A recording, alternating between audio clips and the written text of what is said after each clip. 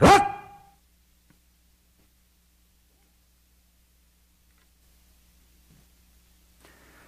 여하시 화상에 가풍인 있고 내무 일물이요 외무 속으로다. 어떤 것이 스님의 가풍입니까? 안으로는 한 물건도 없고 밖으로는 구할 바가 없느니라. 아, 이 말은 저 유명한 조주 스님에게 한 스님이 묻기를 여하시 스님의 가풍입니까? 하니까 조주 스님께서 내무일물리어 외무 속으로다. 안으로는 한 물건도 없고 밖으로는 구하는 바가 없다. 이 조주 스님은 법을 이렇게 아주 어, 간단하게 말씀하셨습니다.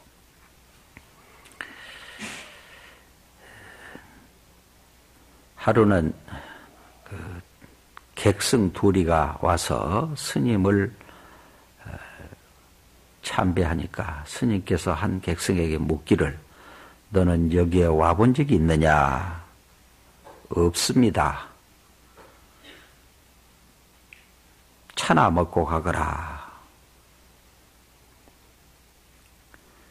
또한 스님에게 묻기를 너는 여기에 와본 적이 있느냐? 예, 있습니다. 차나 먹고 가거라. 원주가 옆에 있다가 스님, 여기에 와본 적이 없는 사람에게는 차나 먹고 가거라 하는 것은 내가 묻지 않거니와 어째서 여기 와본 사람한테 차나 먹고 가라 하십니까? 원주야, 예, 차나 먹고 가거라. 이게 유명한 조주 긱답니다. 제자들을 그 제접할 때 이 차 먹고 가거라 이 한마디로 진리를 다 표현했습니다. 이것도 사실은 군두대기요. 어쩔 수 없이 그것도 어, 하시는 말씀이지만 부처님께서는 그러면 어떻게 우리가 아, 중생을 교화하고 수행하는 법을 말씀하셨는가 하는 것을 오늘 집중적으로 말씀드릴까 합니다. 내 수행도 하면서 보살행을 해서 구경이는 깨치게 하는 방법인데 열 가지 믿음, 열 가지 머무른 방법, 열 가지 행하는 법, 열 가지 회양하는 법, 열 가지 지위. 이라면 이제 50가지거든. 거기서 등각, 묘각하면 이제 부처님이 되는 길인데, 이 중에서 꼭 우리 수행자나 불자가 알아야 될 걸, 열 가지 믿음, 열 가지 지위에 대해서 오늘 말씀하기로 하겠습니다. 첫 번째는 이 믿을 신자, 마음 신자, 신심입니다. 이 가장 중요한 것이 신심이고 구경도 이 신심이요. 이 믿음이라는 바로 다른 말로 표현하면 깨달음이거든.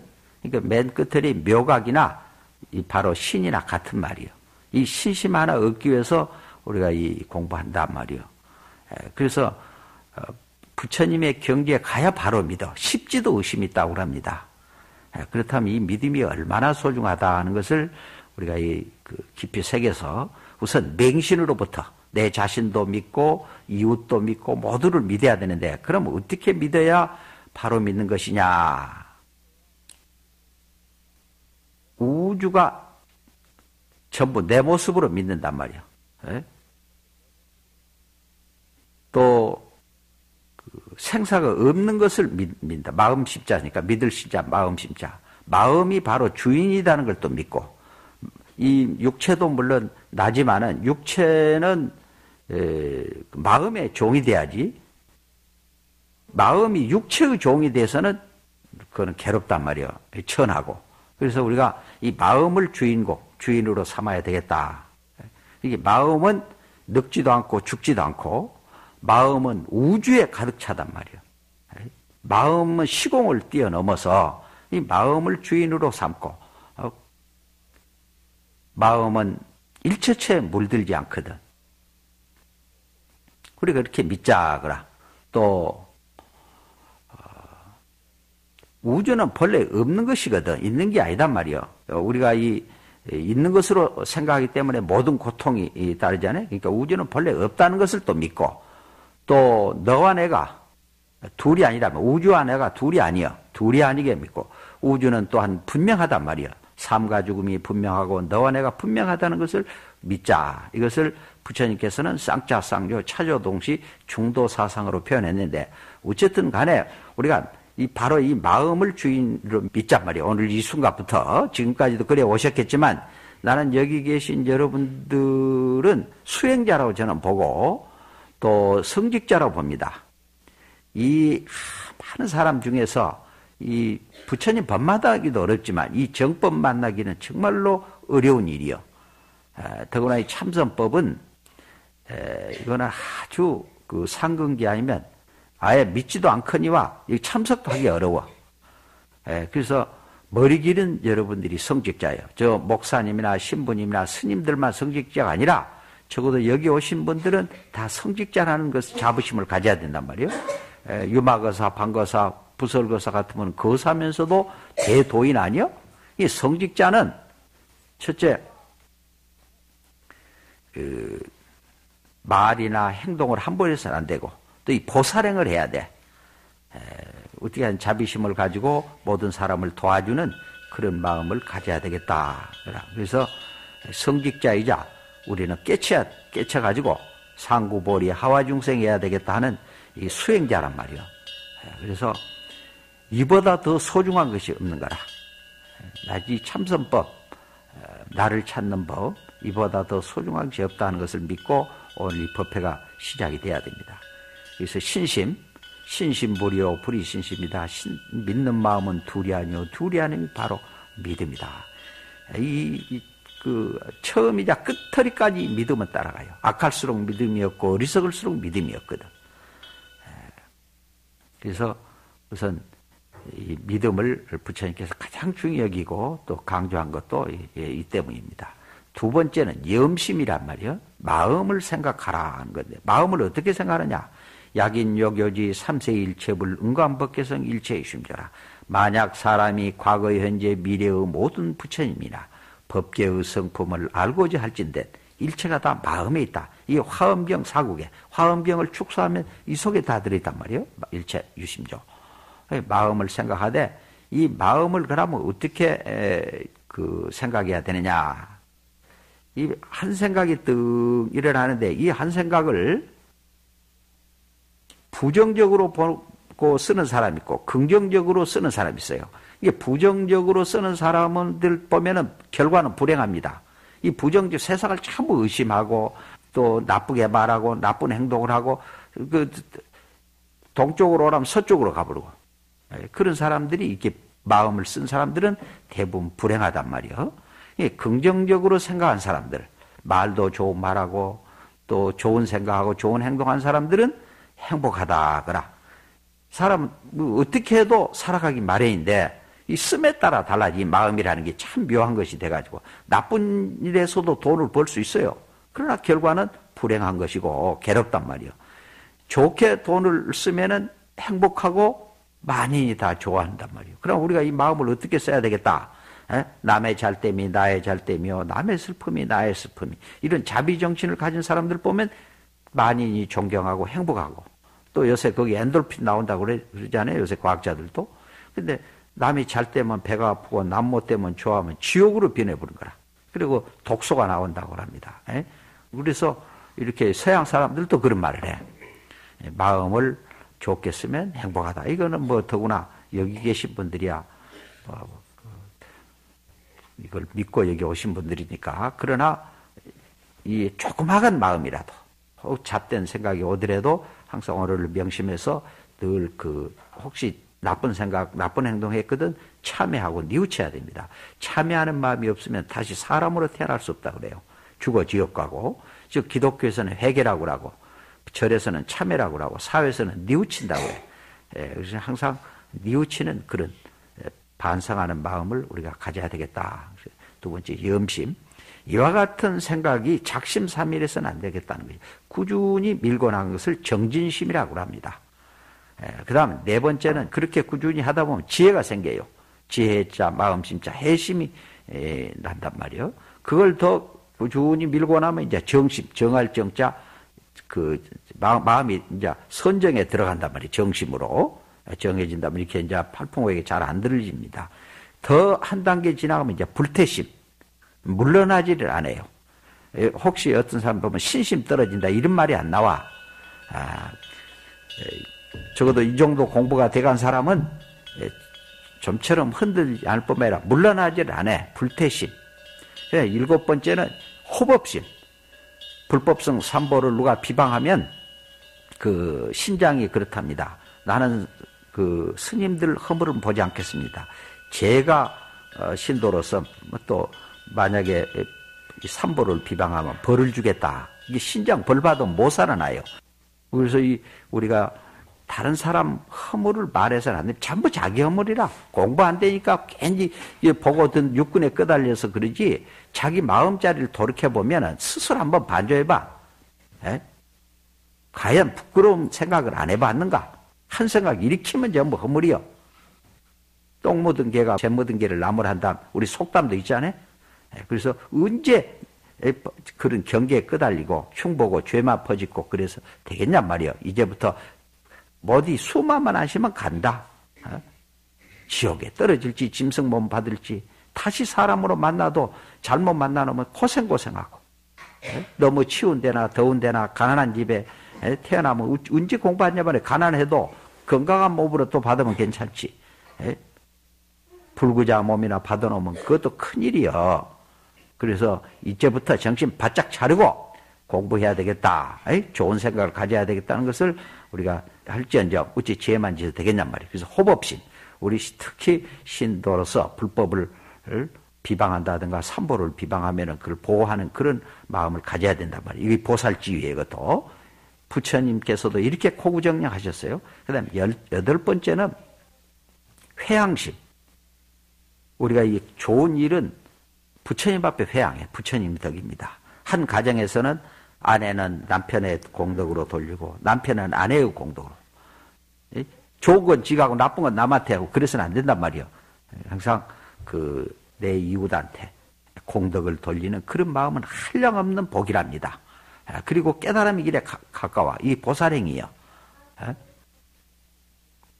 그래서 여덟 번째 회양심, 아홉 번째는 개심. 개라고 하는 것은 에, 그 5개, 10개만 개가 아니라 에, 그 무렴청정이 시개요. 큰 생각 일체체에 물들지 않는 것이 참 개지만 에, 다른 말로 말하면 법이요. 개는 우리가 법을 안 지키면은 그 마, 장이 많이 생기고 공부하는데 어렵습니다. 그래서 우리가 이 세상 악법도 법이니까 법도 잘 지키고 불자로서 지켜야 할 도리, 아내로서 남편으로서 또 모두 우리가 지켜야 할 도리가 있잖아요.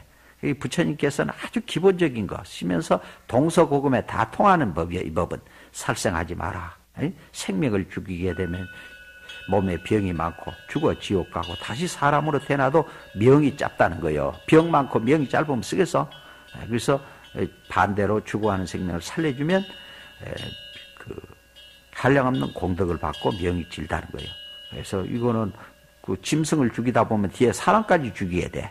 예, 그래서 이 소중한 생명이 있는 것은 우리가 소중하게 하는 그런 습관을 들여야 되고, 어, 또 죽어가는 생명을 살려줄지언정 우리가 죽여서는 안 되겠다. 미워하고 때리고 시기하는 이것도 큰 살생이고 막. 그거는 아주 그 나쁜 실제 생명을 죽이는 것 못지않는 예, 그 살생이니까 절대로 우리가 남을 미워하고 악담하고 이래서는 안 되겠다. 예, 그래서 아주 기본적인 개요. 훔치지 마라. 죽어 지옥 가고 다시 사람으로 태어나도 가난하게 태어난다는 거예요. 그러니까 베풀면은 잘 살고 부자로 되지만은 늘 그 인색하고 그거는 못 쓴다 그라. 그러니까 가지고 동서고무 진리라. 그 다음에 사음. 이거는 뭐 거짓말하지 마라, 뭐 술 먹지 마라. 이 술이라는 게 얼마나 나쁜지 모르고만 어리석은 사람은 괴로워서도 술 먹고 즐거워도 술 먹고 술을 먹게 되면 에, 지혜의 종자를 끊어버린다는 거예요. 아, 죽어 지옥 가고 대부분 술 먹는 사람 치고 좋은 사람을 못 봤잖아요. 정신이 혼미해지고 뒤에는 미쳐버리고만 술 중독에 걸려놓으면. 근데 사실은 술이 저 뭐 소주하고 막걸리만 곡차가 아니라 취한 것이 술의 본질이요. 근데 요새 전부 술, 술, 술 취해 살더라고. 돈만 보면 취하고, 권력에 취하고, 명예에 취하고, 음식에 취하고. 그, 그 술은 더, 더 나쁘구만. 그러니까 술의 본질은 취하면은 그 안 좋듯이 에, 세상살이에는 그런 넓은 의미의 그런 것도 있단 말이에요. 그러니까 이런 가장 기본적인 이 계자 아주 울타리와 같고 어, 사닥다리와 같아서 중요하단 말이에요. 한 생각도 내지 않게 공부하지 않으면 이 계를 지킬 수가 없어요. 어, 한 생각도 남, 남바 없으면 마음법에 허물이 없다. 한 생각 일으키면 전부 허물이다. 그 말이에요. 그 다음 열 번째는 원심. 원하는 자, 마음심 자, 원심인데 무슨 원을 세워야 되냐? 내가 깨달은 한 것도 원이요. 중생을 교화하겠다는 원이요. 내가 잘 살아야 되겠다는 것도 원이고, 잘 살아서 뭐 하냔 말이요. 우선 나도 잘 살고 다른 사람 도와줘야 되겠다 생각하고 잘 살아야지. 나만 잘 살았다 그런 생각하면 그거는 못 쓴단 말이요. 예, 우리가 나도 이롭고 남도 이로운 위해서 돈도 벌어야 되고 또 건강도 깨치기 위해서 건강해야지. 죄 지으려고 건강해서는 안 된다 그라.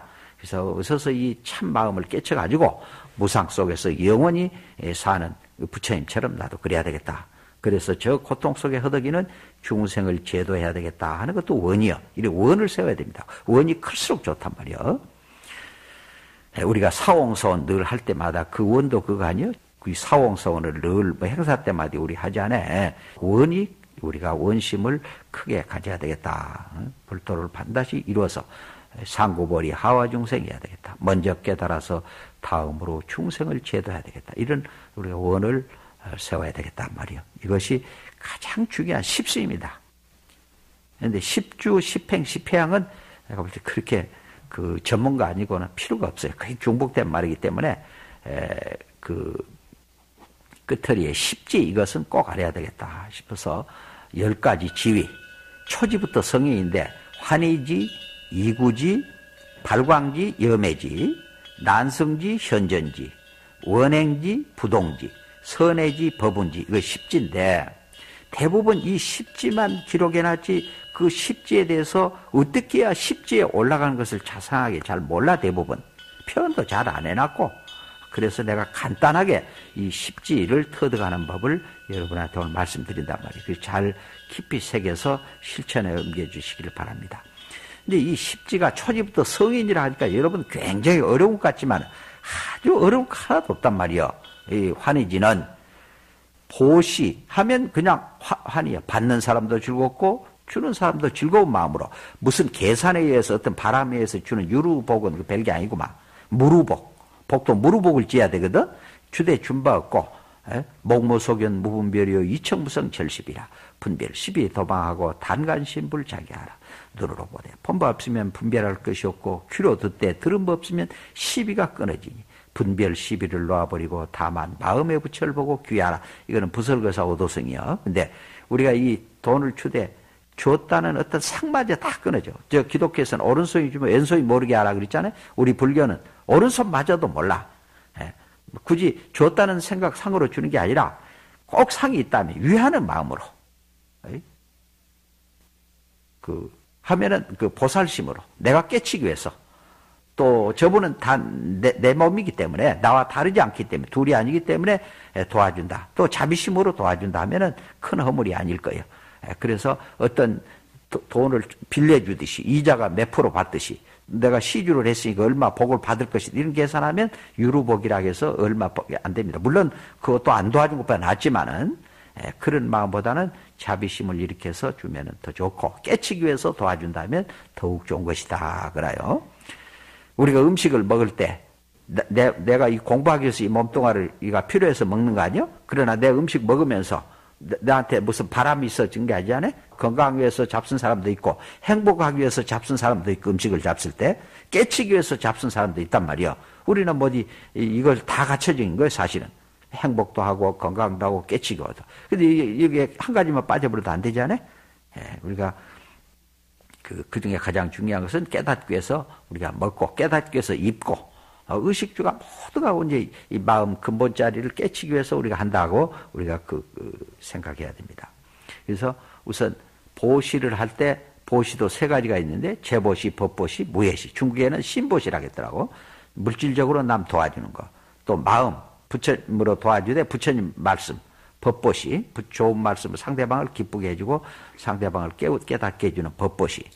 또 마음으로 하는 보시라인데 그것을 그보다는 우리 말대로 시, 무예시라 하는데 무예시는 에, 여러분이 꼭 명심해야 될 것은 불교 사전에는 두려움을 짰었더라고. 이건 잘못입니다. 왜냐하면 두려움을 없게 하는 것이 법보시기 때문에 굳이 그 중복되게 해서는 안 된단 말이에요. 굳이 무예시를 할 바에는 걸리래 짜서라. 걸림법 없는 보시. 무엇에 걸림법 없느냐? 재보시, 법보시에도 걸림법 없고요. 걸렸다는 집착했다고 말이거든. 에? 일체처에 집착하지 않고 보시한다면 그게 상구벌이요. 생사에도 집착하지 않고 유무, 고저, 장단, 양변 일체처에 집착하지 않는다면은 걸림법 없다면 그건 상구벌이 아니요. 재보시, 법보시는 하와중생이고 이 보시에도 이와 같이 우리 부처님은 이 한 말씀 속에 딱 갇혀져 있더라니까. 그러나 참 밑바탕 사람들이 알아듣기 쉽게 이렇게 차별을 해놨지만 사실은 가장 기본적인 것에도 다 갖추게 썼어요. 그래서 우리가 보시도 이, 이 물질적으로 이렇게 보시 하는 것도 기쁜 마음으로 또 받는 사람도 기쁜 마음으로 받고 또 은혜를 보답해야 되겠다 감사한 마음으로 한다면 벌써 이거는 환희지란 말이에요. 그래서 기쁨의 환희 기쁜 것이 기쁘란 자, 기쁘리 자, 환희지에 벌써 오른 거예요. 그러니까 보시, 여러분들이 보시한 사람들 보면 보통 사람이 아닙니다. 이 훔친 사람은 많아도 남 베푸는 사람이 극히 드물더라니까. 이, 여기 계신 분들은 벌써 수준이 아주 그, 그 높은, 올라가서 그렇지. 주의 보십시오. 어? 죄에 안 지면 다행이야. 맨날 밤에 뭐 훔치려고 하고 높은 자리까지 가서도 부정을 하더라고, 세상에. 영창 가는 걸 보면서도 부정을 해. 키가 막힐 일 아니요. 어리석기가 얼마나 어리석으면 그래. 예? 그래서 이 보시야말로 가장 중요한 것이다. 어떤 사람은 뭐 이북을 막 퍼준다고 이러더라고.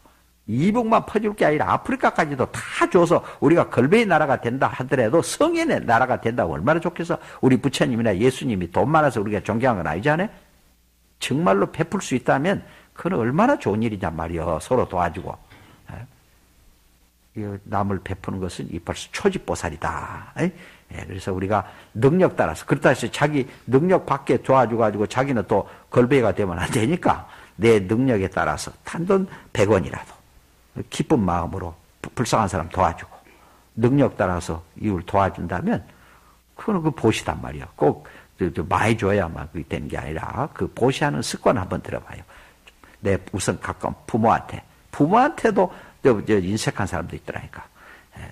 그래서 이 불쌍한 사람, 내 이웃한테 이렇게 베푸는 거. 그것을 저 기독교에서 11조 내라. 이렇게 보시를 가르친 거예요. 또 절에도 이렇게 그 보시하게 만들고.